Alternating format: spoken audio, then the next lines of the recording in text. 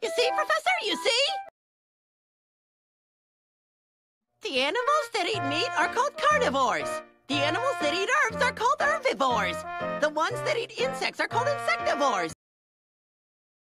At the moment, no. But Chavo is going to pay you later.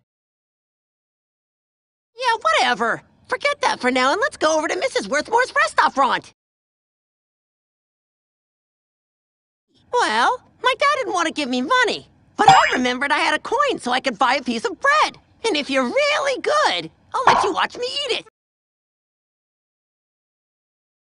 Okay, too bad for you. Yes, at least for the moment. Is something wrong, Nanny? Kinda looks like the backstroke if you ask me. Don't be silly!